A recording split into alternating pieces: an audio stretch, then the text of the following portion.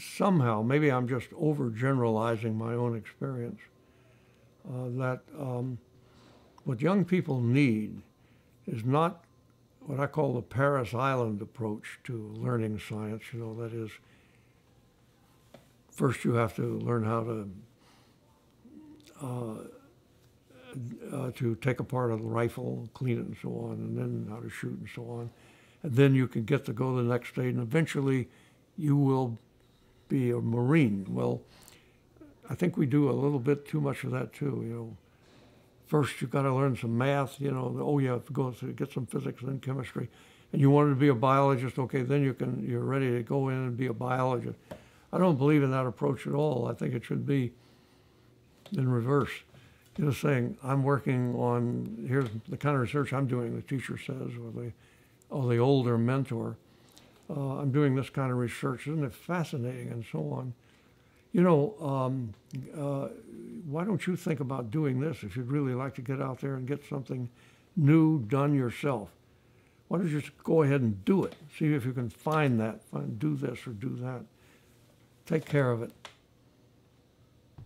I think that might stimulate at least that fraction, and I don't think it'd be a very small fraction, of uh, young people who uh, would be best served by this kind of encouragement and empowerment at an early age.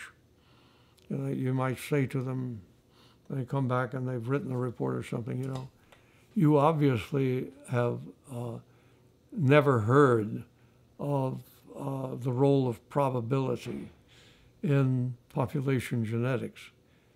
Here's a book, go learn it. Then come back and let's talk about it when you have that extra information. That's the way to teach, I think. Of course, it probably requires a lot of mentors. Right. Right. Yeah. It's gonna, yeah, that's the job, that's the job I'm giving you now. How to turn high school teachers into mentors. Well, that's what, that's what our. That's what you try to do, I That's what know. we try and do in the course we teach for teachers at La Selva, is to, Yeah. is to have the teachers experience precisely the joy in discovery. Exactly. The joy in the process that you described from your lifelong experience, to give them a chance to feel that and then convey that to their students. Yeah, but don't you agree too that you just mentioned the deadliness of the No Child Left Behind? Um, that the right teacher is a teacher that will, among other things, um, have a passion for the subject and probably a research interest of their own.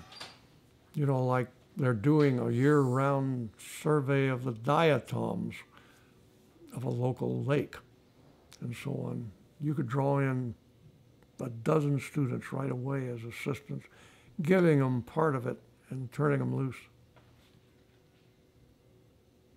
The best teachers do that, and we have, we have. I had the, I had the impression they do, yeah. Yeah, That's why scientific natural history is, um, needs to be cultivated and continued. Um, scientific natural history, that's something I want to see not just survive, but flourish. In other words, the first stages in discovering something new, which you really can accomplish in most parts of the world. Tardigrades. You know, wouldn't it be interesting to become a world authority on tardigrades? I know of only two in America, maybe more now. Uh, but uh, what a great group to work on. The whole history of the tardigrades, what they eat, where they are, what their evolution has been, and so on. Um, so many things like that, so many groups.